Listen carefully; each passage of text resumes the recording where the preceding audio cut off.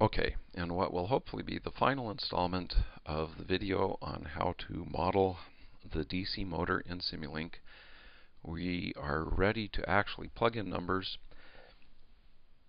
Uh, if you, uh, as you recall from the last video, these are the values that we've been given.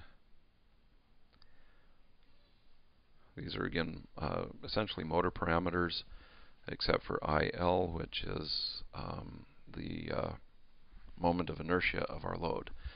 So uh, up here, we're going to need the value of kT over IL. It turns out, without actually saying what the units are, that that's equal to 4. Um, okay, so, and I just noticed I have no idea what I was thinking here. This is Newton meters. I don't know what the M is supposed to be there.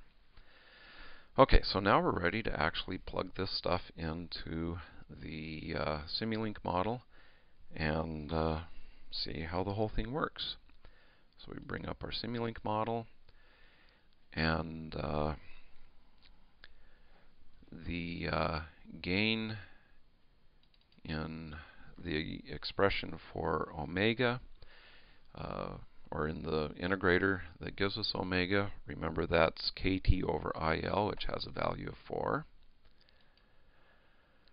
Um, oh, we've got a mistake, which uh, is kind of sad.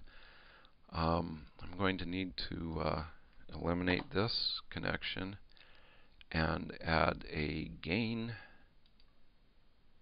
term here because I forgot that I was uh, multiplying uh, everything that goes into here by 1 over L. In fact, actually, that might be a better way to do it. Let's do that. So let's make this go away. We'll take these guys and hook it back up. We'll get rid of this. Uh, slide our adder over a little bit. And add a gain. And this gain is going to be the 1 over L term. Okay, so now we'll connect this up. And we'll connect this up.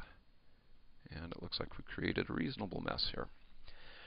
Okay, L is 0.2 henries, which means this gain, which is 1 over L, is going to be 1 over 0.2.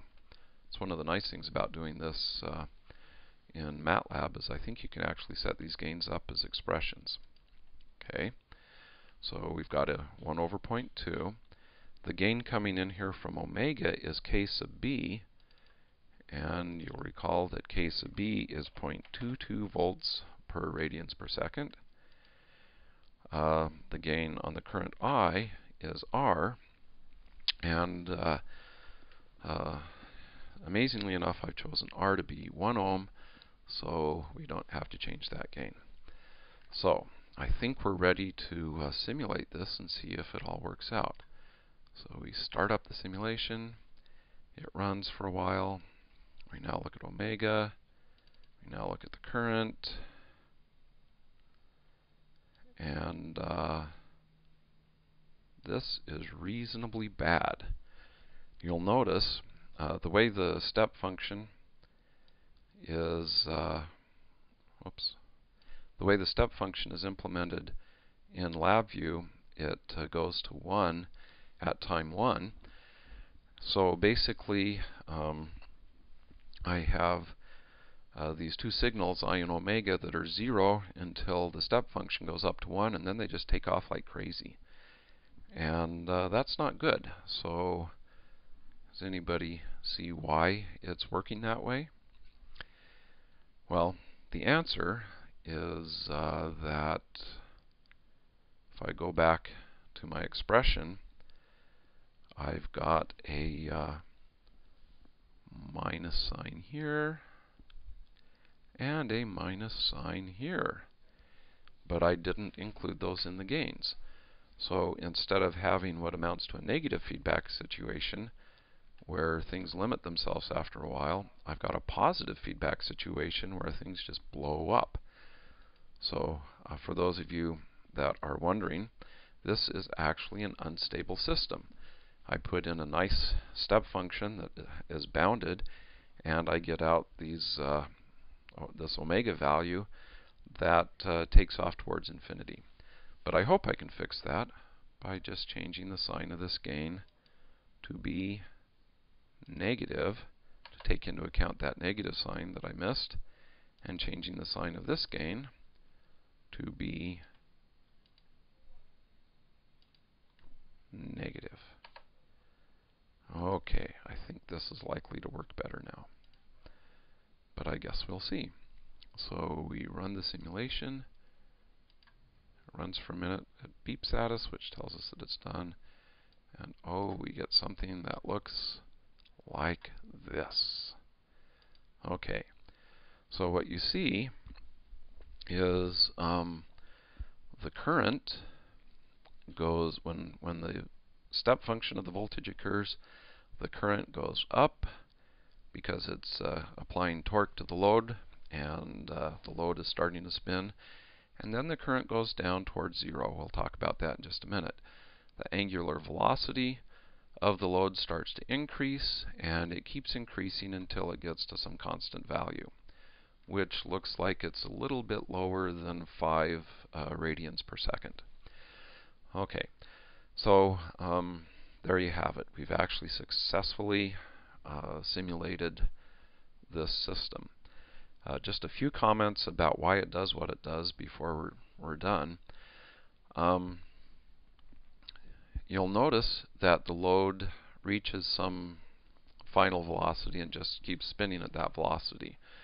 Uh, this turns out to be a property of DC motors, that they have a top speed. And the reason they have a top speed is that as the load starts to spin faster, um, the uh, feedback uh, in, that comes through the back EMF, uh, the back EMF gets larger, which means that the voltage applied across uh, the coil in the motor is actually getting smaller and smaller. And you reach a steady state value where the voltage across the coil is essentially zero because the back EMF is large enough. And because the voltage across the coil is zero, that's why the current tends to zero. Now, in real life, it doesn't really work this way. In real life, there's always some energy gained in keeping the load rotating. We haven't modeled that in this uh, example. Uh, we haven't modeled any friction on the load, which is the sort of thing that would uh, that you would need to model in order to include the effect of uh, keeping the load rotating. If you do that, then it would drop omega a little bit, and the current wouldn't approach zero. It would approach some steady state value, which again is the current necessary to overcome the friction to keep the load rotating. Uh, but we didn't do it that way. Here we assumed a frictionless load, so at some point, once you get the thing rotating, then um, it'll just spin forever and you don't have to add any extra energy. So, that was a fairly long example. Hopefully, the things that I'm hoping you came away from there, uh, one is just the idea that um, most of the dynamical systems you model can be represented in terms of differential equations. And so the goal in doing that is to get a couple of differential equations. Um, when you go to implement it in LabVIEW, you need to identify state variables. And in this case, the state variable is the angular velocity and the current. One way you can tell what state variables are is they're going to be the outputs of your integrators. Um, but the trick is often to figure out what should the outputs of the integrators be in order to make the whole thing work. But that's that's how you can identify state variables. And uh, I think that's pretty much everything that I wanted to say about this. Uh, so we'll end this demonstration and you can uh, start building models of your own.